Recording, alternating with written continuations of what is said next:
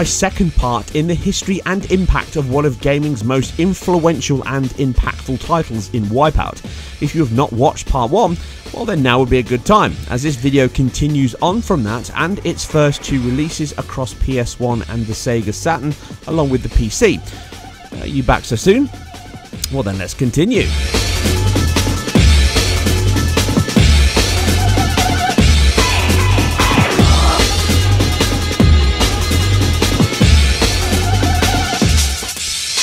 The dust had settled on Wipeout's impact specifically on the PS1 as this was the centre of the world launching on that and PC, with the delayed Saturn release taking the wind out of its impact on that platform to some degree, even to the point that many never even knew it launched on that machine, even to this day, let alone two of them. But more so, the marketing was coordinated with and into Sony's message, but they never interfered with Psygnosis at a micro level, happy to have them as a strategic partner that they just so happen to own. Now, after covering how it launched onto the scene of the time, a colossal reason for the game's far reaching influence originated from its pioneering style, thanks in no small part to the Designers Republic, a design house based in Sheffield. They had more experience in the music scene and edgy album covers, and in many ways influenced the intrinsic link the series has had and always will have with music bass heavy beats, techno house, trance, drum and bass, they all became as big a part of Wipeout as Speed Boost, Shields and Rockets. They worked with the internal design team from the word go, helping to shape the game's unique, edgy style from all angles, from the clean typeface and logos to the game's cover and even the UI.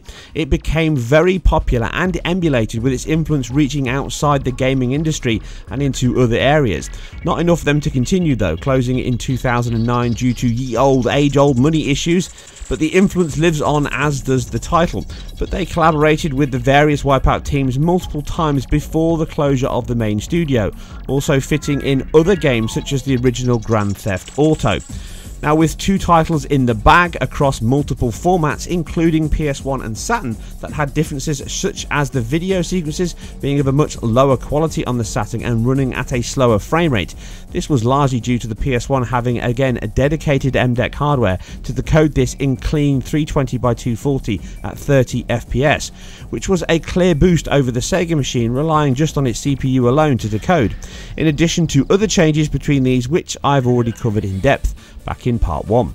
Now one thing I wanted to add but did not have evidence or time in the last video was that the original PC release of Wipeout did in fact have a very rare hardware accelerated version released for the then blossoming ATI Rage brand. It was released later and ran at various levels depending on the hardware you had, but it looked much closer to its PS1 origins now in this format. Now this was highlighted by viewer Virtual Iceman in my last video with a link to that video that covers the various versions which you can check out out in the section below. Now please check it out after watching this one of course. Along with the second title that hit PC and Saturn, it was not the last time we saw a non PlayStation release, but this time handled in house by Psygnosis themselves and on no less than the PS1's ultimate rival in Nintendo's N64. Released in 1998, it was already well into the PS1's lifespan and even a year after the N64's release date itself, but accompanying the massively overused 64 titling, Wipeout 64 was the third game in the series and became the very first exclusive version of the series, ironically not on its owner's hardware, although it was published by Midway. It also brought some other original features with the first to officially support full analog controls. Sega did beat them to this claim with its 3D controller, something that went on to influence many other companies' controller designs alone which alongside the redesigned track layouts making corneas easier or removed entirely, had also delivered the best handling version of the series thus far. The N64 controller was always great for the precise controls needed in this new 3D world and Wipeout benefited from that as much as any other title, including Rumble, if you obviously paid for the extra vibes. These were not the only additions, mind. Single machine multiplayer was added common with the console, as this was still a world devoid of online gaming options. The previous PS1 titles only had the option to use the system link for two player action, which involved two of everything. Not so here, other than the controllers. One N64 and two controllers had you set for two player action. The additions did not stop here, mind. New weapons in the plasma and power up orbs, which could also be used for ship specific options like cloaking, got added, alongside new features that counted the amount of ships you could eliminate from the race, laying wait to the eliminator mode that would appear in later titles. All these improvements came alongside the game's 7 tracks, with again one hidden, just like previous games.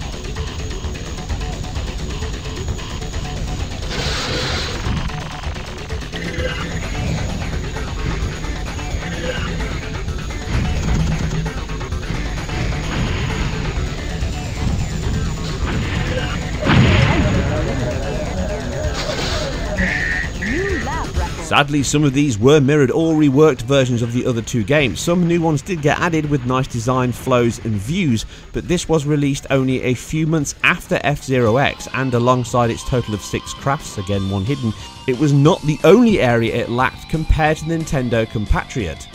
Running at only half that game's 60Hz, or again here in Europe 50, we get the same 30-25 split we see in many of my retro articles, in addition to a 320x256 resolution. Again we can see that this holds the target with no issues, smooth at all times in all action. It also demonstrates the reasons for such sacrifices, with F-Zero X really being a continuation of its Mode 7 rooted Super Nintendo scale and rotation tricks. Tracks are all very bland, flat and lacking scenery and and geometry as a whole. It may have far more vehicles, but the track design is not as exciting or challenging, being very open and wide. Some would say required due to the high count of race participants. But Wipeout may be more intimate and have a slower refresh rate, but it feels every bit as fast, with a vast increase in trackside details, views and polygons, in addition to a greater variety of textures across all objects, alpha effects easily making up the gulf in frame rate, with the even more apparent gulf in visual throughput. It made some serious strides in its move from the Saturn and PS1, no longer tied to half-hearted 3D, the N64 was blessed with a full Z buffer in hardware, cutting down on any depth fighting issues in addition to allowing full perspective texture correction, so the only swimming textures you see here are in the water and not on the walls. Floating point calculation was also another very welcome and worthy addition, delivering sub-pixel accuracy on the polygon vertices, delivering the kind of stability Theresa May can only dream of. Now gone are the jelly-like framework holding up floors, walls and objects, instead replaced with solid and smooth points that roll, twist and turn with the kind of accuracy we have grown accustomed to in all our 3D titles ever since. Not all was a win, mind. The engine's inherent draw distance limit still plagued this version, with pop-in level that was all too common in many titles from the 5th generation. The N64 had a healthy throughput of approximately 160,000 polygons per second, but this all depended on many factors outside of the scope of this video for now. But this base limit combined with the tiny texture cache meant that texture quality, aligned with its other new feature of AA and bilinear filtering, made many of the game's assets quality quite blurry as a result, and Wipeout was no exception. It was what makes the game hard to flag as a sharper or cleaner game than prior releases, but it at least does not suffer many of the issues its older releases do. Effects work on weapons, explosions and particles all look good, and if not better than the other games, with more light sources applied to them including coloured lights.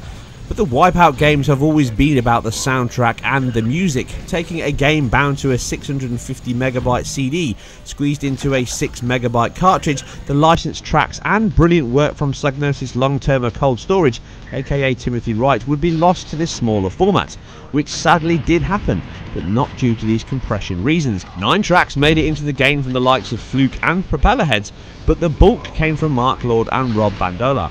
These MIDI files compressed into this tiny space is the reason this is one of the few cartridge games to have loading times. Now, this is the point when these tracks are being decompressed ready to play, and they did a great job of keeping the Wipeout audio delights as good as its disc-based originals.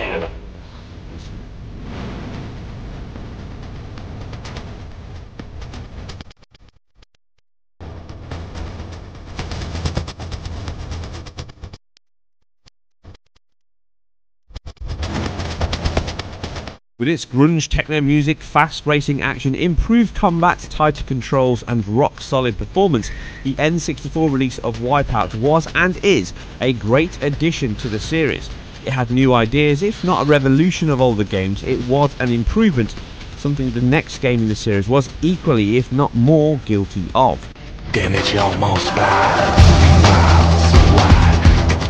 Wipeout, or Wipeout 3, came right at the end of the machine it was born on. The PS2 was already being shown and talked about, Dreamcast was already out, and these machines had started to look dated. But Studio Leeds took the reins for this last hurrah over the Liverpool studio and wanted to make a swan song for the machine that looked more like a PS2 game than a PS1 game in just nine months. Now, this small schedule was helped by taking a development version of Wipeout 2097 and then building from this. Much of these improvements came from the mature dev tools and optimized methods that five years of iteration across multiple teams will yield. Sony had started to ship detailed code and performance monitoring software to help teams maximize the hardware. Studio Leeds put this to good use in addition to a rarely used mode on the PlayStation, its high-res widescreen mode boosting the game's resolution to 512 by 256, nearly double the width of the previous titles, and it benefits the game's aesthetics greatly in addition to the palette changes to made to the game to make it brighter and cleaner than earlier games. DR returned to redesign the logos, fonts and UI again, and all of these errors combined to create a more grown up and believable future. The shift in tone is immediately evident and became the base that future games would build on. Well, bar one. The game added refinement and additions rather than any great changes. A two player split screen mode was now added to the PS1 for the first time. System Link could still boost this to four players. The improvements made by the team's rendering engineer Pete Bratchter worked wonders to deliver a game that could now render two views at the same resolution as previous titles, along with rewriting portions of Sony Japan's own rendering code to reduce the clipping and seaming issues I covered in depth in my last video. The game's cleaner assets, sharper textures and image quality aligned with this more accurate vertex movement and texture mapping achieved its aim of looking much closer to an early PS2 title than a PS1. Some sacrifices came from a reduction in ship load within the camera view to deliver all these increases and improvements, and that also came with its performance. It not only looked better, but had more effects added, such as billboard light shafts, a rendered cockpit, increased trackside scenery, but it also returned the first game's locked 30 stroke 25 FPS in both single player and multiplayer races with split screen, putting the two games side by side the leap in hardware utilization is both dramatic and impressive, but the team really knew how to handle the hardware and make it sing. Now, sadly, Cold Storage was not back for the ride. Instead, DJ Sasha was given the job of working with all artists so that the game's soundtrack all fitted into a theme more like a movie than a collection of licensed tracks. It was another success with a varied selection of bombastic tracks that fueled the races and speed with an ever bigger contribution list with the likes of the Chemical Brothers and Paul van Dyk to name two, all added to the audio delight. Elimination mode and weapons from Wipeout 64 also got added into the mix to expand the game's options. The special edition released here in Europe that has all this footage here is taken from had a total of 22 tracks, including remastered circuits from Wipeout and 2097, joined with some prototype layouts that only had flat shading taken from the Japanese release, making it by far the largest selection in any title to date wrapped up with a new replay mode that had to be retrofitted to the 2097 engine. Although far from painless and without issues due to the game's physics and AI contributing to these problems, it is a worthy addition but still left many with the taste it was more a refined collection rather than a new game outright. Analog controls, ship handling, and physics all make the game much easier to pick up and play, with later tracks ramping up the curve. But as fitting and impressive as it was to the series and machine it was created on, it also marked the worst sales so far for the series, as we waved bye bye to the PS.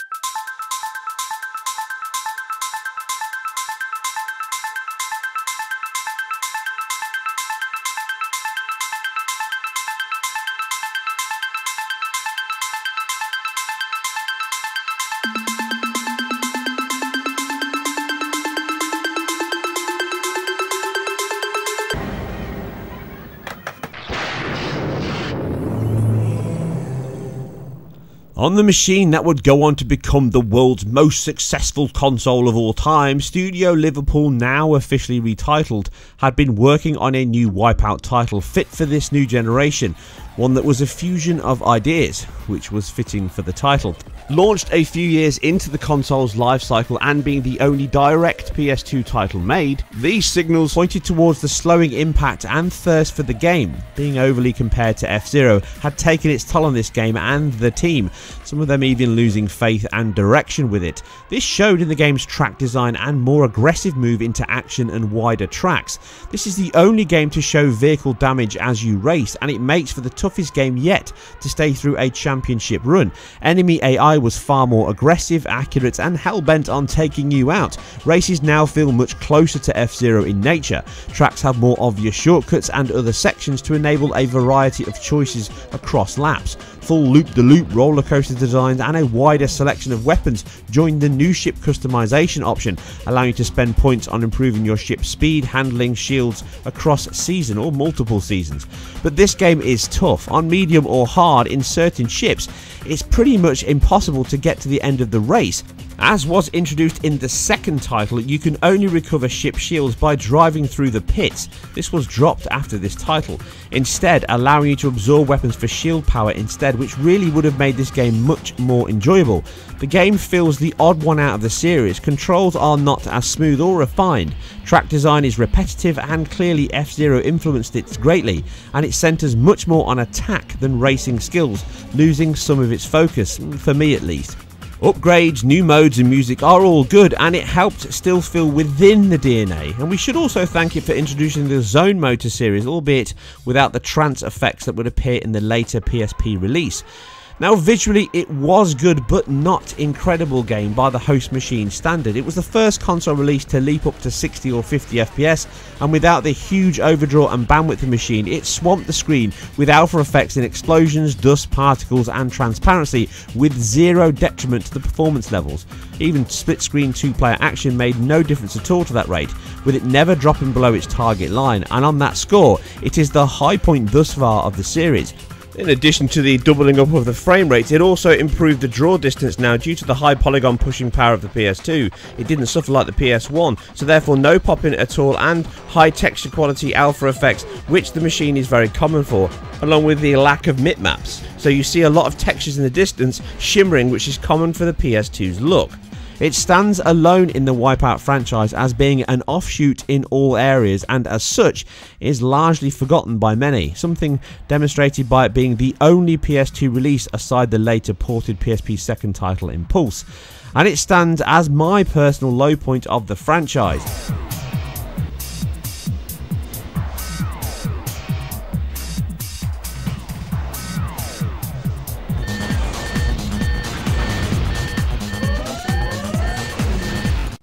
With Sony cemented in the home console market as top dog, it set its sights on the handheld market owned by Nintendo. And although the PSP was a huge success, shifting around 18 million units in its lifetime, it never shook it to the extent of its home goals. Nintendo stayed king across every generation, even though Sony got the closest, it was still a distant second place. The Wipeout team helped the machine land many of those sales with two titles that hit the handheld. The first Pure was released in 2005 alongside the handheld itself and set 100 years after 2097 with the design returned more to the Wipeout 3 and away from the Fusion layout.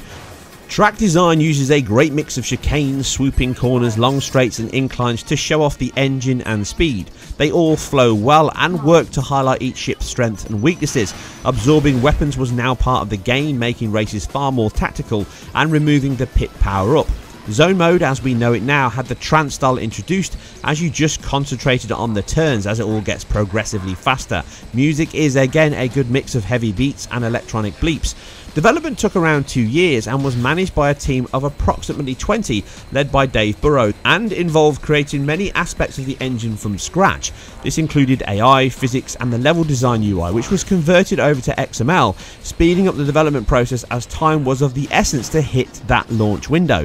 This allowed programmers to concentrate on core engine code and the designers to alter the game without them. Other improvements also came with the team's Maya tools being improved to allow track designs to be iterated for testing within 5 minutes rather than hours, a key factor in them hitting that tight launch window. It also had DLC to show off the PSP's online capabilities whilst moving into the increased revenue path we are now in, as they squeezed as much onto the game's disc as possible. This included 8 teams with a collection of free DLC tracks, skins and music being released over the first few months, even including cold storage tracks returning from the first two games. It's a great showcase for the hardware running at a target 30 FPS but with VSync disengaged it tears across the vertical portion of the screen to keep refresh and response as high as possible and by the look of it it works feeling very smooth and responsive in both cockpit and third person views. A clean look with Gouraud shading and textures combined deliver a very PS2 looking title that sold well on the handheld shifting over half a million units within its launch window and more beyond. Now performance is not the game's highest point and the lack of VSync was something that would persist into other titles. Much of this is due to the relative high poly count in the game with its specs quoting around half the PS2's max rate of 33 million polygons per second. But just like that machine this was a very false and theoretical maximum. It was most likely chugging around 50,000 in most games and here with its target 30Hz rate. And like both titles on the PSP, it ran at the standard 480 by 272 resolution, so it gave it a little bit more headroom than a standard PS2 title, most likely in PAL running at 720 by 576 in interlaced mode. You could also force progressive if you wanted to, but not all titles support that as well. Controls are good, but the flat analog stick of the PSP can make steering stiff at times, as your thumb is overworked to move the stick as smooth as possible, much harder with its flat design, and also the small nature of the machine itself can create controller claw if you have bigger hands like me, so after an hour or so with the top triggers, it can set in. But playing with the controller options can improve this to a certain level though. It achieved the target of launching with the machine, demonstrating its power and impressing all that played it, finally giving us Wipeout action on the go.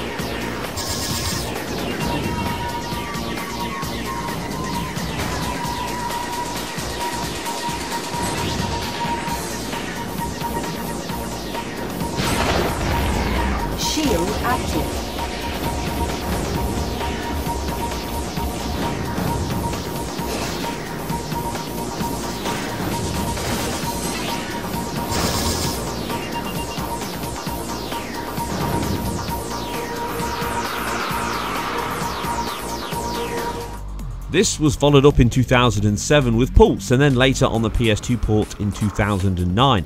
Now sadly I have lost my PSP copy and I didn't pick this up on the PS2 so what you see on screen here is the game running under emulation using PCSX2 which obviously has faults on shadows, ships and textures so I cannot really cover this in my technical analysis sadly. But it did port well to the PS2 here running at 50 FPS, it runs obviously at 30 on the PSP and allowing a 16x9 or a 4x3 mode, custom music tracks, and a huge selection of licensed techno musicians were included, with German heroes Kraftwerk added to the Wipeout bow. Many modes returned with Zone, but it never sold as well as hoped. Some of this was the fact it, again, was a refined and improved version of Pure. They tried to mix up the tracks and alter the difficulty. The AI is much tougher, and on hard, as you see here, just getting 6th or 7th is an achievement in and of itself. The PS2 version was enhanced over the PSP's release, but it was more about maximising return on development and aside these visual enhancements and all the DLC, it was exactly the same game as the handheld release.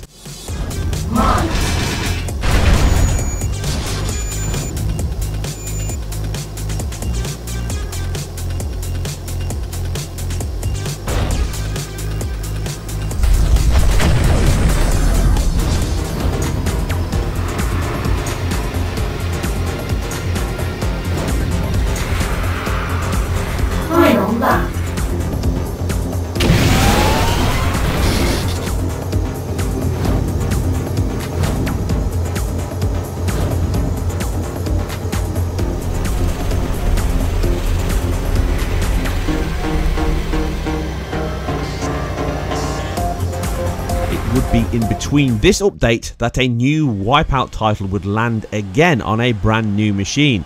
Showing the signs of cost cutting and lack of sales, this PS3 release would be digital only and came two years into its release and brought all the content, ships, and tracks from the previous two PSP releases, but now in glorious 1080p and 60 FPS. This game only existed because of programmer Andrew Jones, who had worked on the PSP titles and was keen to show just what those games would or could look like running at twice the frame rate. It impressed all and was signed off to become yet another benchmark for the team and the PS3. It would later receive an update pack Fury that added in more modes and pushed the game more into combat and ramped up the visual quality and pyrotechnics. The PS3 was still suffering at the time, with titles underperforming on it compared to the Xbox 360, so having a full HD game was a big thing at the time. The clue is literally in the title and more so at 60 FPS. It was a big tech showpiece for the machine. The team had been used throughout its history for this exact reason. Even though it lacked much new content, it did enhance it over the handheld release as the on-screen examples show from the PSP or the PS2. This was a dramatic improvement worthy of the HD tag indeed. The team really tried to push the machine and engine as far as they could, and they achieved a showcase for the system. Being tied to the PSP assets but not the hardware saw a vast uplift in all areas texture resolution, alpha effects and particles, lighting, they all got increased over the PSP. Polygon models went from a few thousand per ship to 30,000 at maximum LOD. Trackside detail went into the millions. Even though the routes are clear on the tracks from its handheld base, they are substantially better in all aspects in this new HD world, as was the frame rate. Now the aim was to utilise the benefits of the PS3 at the highest levels possible and to achieve this they also wanted to not waste GPU cycles, which is best achieved with a dynamic resolution. And that's exactly what they did. They kept the vertical at 1080 at all times, but they scaled the horizontal between two points, 1280 at its lowest and a full 1920 when the fill rate gets too much. This is done every 32 pixels, giving us exactly 21 possible resolutions across the X-axis backing this up with an adaptive VSync allowing the screen to tear as needed if the 16 millisecond render budget is missed, giving a torn or partial frame at the next refresh rate. Now the game actually tears 100% of the time, with the V-blank stage being missed and out of time on every single frame, giving a torn section at the top of the screen. Now to avoid this, you have to ignore the top 25 pixels, which I've done in my analysis here, which only represent the tears that extend beyond that small section. Like some other PS3 titles such as Gran Turismo, it uses the machine's output resolution to alter the games. A 720p output drops the dynamic nature of the title in favour of adding 2 times MSAA, but it still has the lower IQ of the two options with similar performance and it's very close to its target 60 FPS. It tends to tear for a second or so and is mostly down to fill rate effects like alpha explosions, bloom or the DOF pass. Collisions with other ships can also cause some tears, but it rarely drops below the high 50s. It can at times, but only in heavy action, and it never feels anything but responsive. Bounding box collisions are run on the PS3's SPUs along with many other things as these had to be done to make up for the relative GPU weakness. Many teams like Santa Monica and Naughty Dog as here with Studio Liverpool became very adept at filling in the blanks, mixing workloads up and allowing them to work in tandem with the PPE and the GPU. But the bounding boxes actually have some issues. You can see here as I slow it down, the collision between the physical vertices and the ones you can't see are actually far wider, hence you're crashing into a ship that you're actually quite a few pixels away from. From great use of reflection maps, clean diffuse tones, image-based lighting and high specular all make the game very impressive to look at. Helped by its high resolution on the machine, it stands out as a very sharp title indeed. In fact, the exact same resolution as the recent PS4 Omega collection, although not at all times. A limitation of the ship design and obviously being aligned to the axis. Revisiting it now for this video, I can still appreciate the talent and artistry on show here as the team really truly maxed out the machine and delivered by far the best looking and performing title in the series. Well, until this week.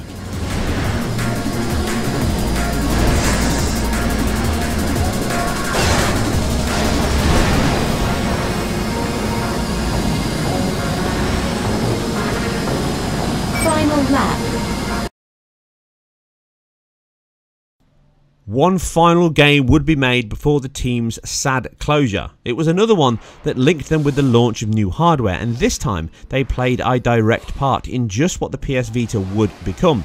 Working closely with Sony Japan, they had direct input into the machine specs, controls, and the dual analog stick design was a direct result of the team's involvement, along with using their code directly on the prototype machines and compilers. Wipeout was a symbiotic creation with the Vita itself, one could not exist without the other. Another impressive piece of code and art it was yet again. Even though the Vita excelled at delivering full home console quality in your hands before any other machine, games such as Uncharted Golden Abyss from Bend Studio, now getting ready for its latest PS4 release in Days Gone, stands out as a technical showcase for it. Wipeout is as equally as impressive and demonstrative of the combined quad-core ARM CPU and PowerVR SGX graphics SoC that powers the machine and paralleled the PS4's development process, using less bespoke hardware but still having some custom features within its 45nm design. It was a handheld machine that could deliver PS3 level quality and or better. Something demonstrated with this very game that runs the exact same shader code as its PS3 HD Fury Origins in addition to taking all that SPU workload back onto the PowerVR GPU. Not bad for the little machine that could, but it does have to make some sacrifices to its bigger brother. Resolution is one, dropping from a native 1920 by 1080 down to the machine's resolution of 960 by 544. And just like the PS3, this can also dynamically adjust down if the load becomes too high and the render time of 33 milliseconds is missed. Now this is normally following a VSync being dropped to try and keep response high and then is all resumed back to its native rendering and VSync on the 30 FPS target. Aside these two sacrifices, it also has some improvements. Due to the newer GPU, HDR light is now of a higher resolution and thus quality, as are reflections which like other assets benefit from a 4x MSA pass to sharpen up those edges. For a launch title, it was not pulling any punches in pushing the machine hard. Multiple light sources come from trackside lights, weapons that have point lights illuminating anything within range, smoke plumes, bloom, video playback on trackside boards, something which is missing from the recent remastered collection I may add. Texture quality and geometry are almost a match for the PS3 base it came from. The game is every bit a Wipeout game. Track design is very strong with multiple routes through them. A flowing design makes the learning curve easier and the dual sticks of the machine, beautiful OLED screen, make it a joy to both play and watch. The on-screen footage here does come from the PS TV, which is almost a Vita without a screen, but you must take into account the screen it was intended for, and as such, it should be played on the handheld for the best visual quality, which was my preferred method of play before the latest remasters landed this week that I covered earlier in the week. Sadly, it was not enough to save the studio or team, and only a few months after the Vita and game shipped, the team was informed by Sony management that it was to close. This was a very, very sad day for the team, myself, and I'm sure many of you watching this video for a studio that smashed into the gaming scene in the 80s, building up its name, stature, and skills on the 16 bit Commodore Amiga Mega Drive before creating one of the most recognised franchises and an icon within the gaming landscape. They contributed to a large part of my gaming years as well as the Sony empire, delivering something new and fresh that transcended the gaming landscape. They mixed pop culture with games to achieve huge success, iconic status across multiple generations, shaping the hardware and influencing the community as they went. It has been a privilege to step over the years of a company that achieved the highest level of success and left us with a legacy that we can still enjoy as much now as the day I stumbled into it in a pod in a tent. Rave on, Psygnosis, party on, Studio Liverpool, but always be sure to never wipe out.